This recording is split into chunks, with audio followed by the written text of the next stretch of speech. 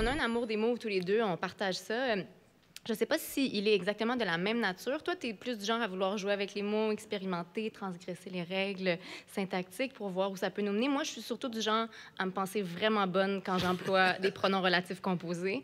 À chaque fois que j'utilise un bon déquel bien placé, j'appuie sur le mot en regardant directement dans une caméra qui est même pas là. là. C'est vraiment...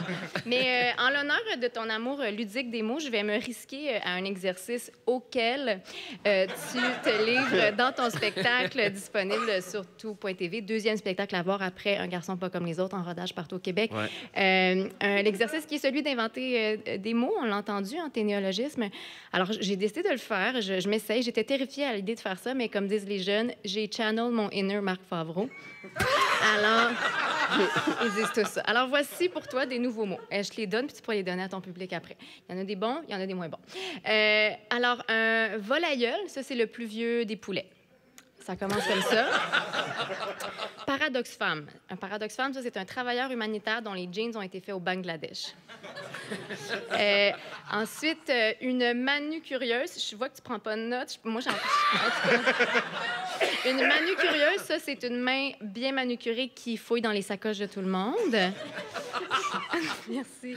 Euh, un retardataire. Un retardataire. Alors, ça, c'est quelqu'un qui ralentit un souper tartare en faisant des blagues sur la cuisson.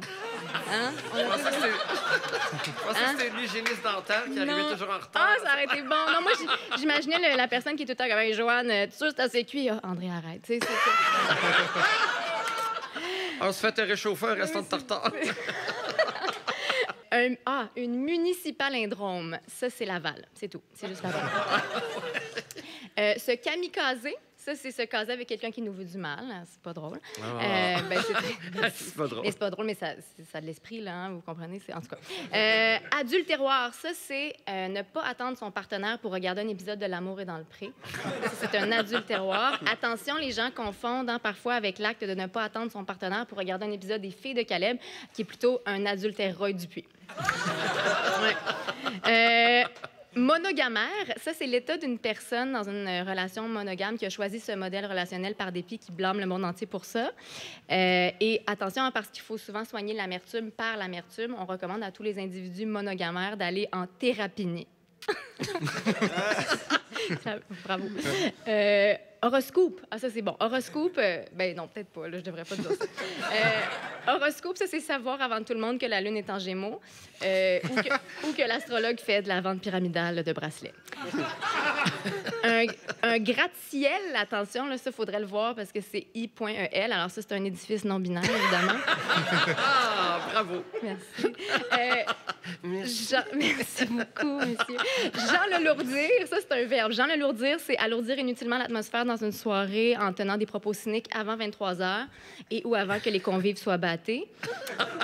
Euh, Stéphano faillir, ça, c'est euh, comme dans l'expression Stéphano faillir à sa tâche, là, c'est rater ses pattes. Une valise Dion, ça, c'est une valise qui contient juste des blagues de ménopause. Et finalement, se démarcassiver. Alors ça, se démarcassiver, c'est se démarquer de sa génération en épousant les valeurs d'une autre génération. Comme dans la phrase, bien que Pierre se démarcassive des autres boomers, il a vraiment Jean alourdi le 5 à 7 en parlant de sa thérapie avec la jeune paradoxe femme.